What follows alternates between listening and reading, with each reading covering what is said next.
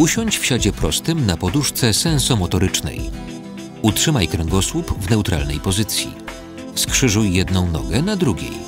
Nie podpierając się rękami, utrzymaj stabilnie pozycję.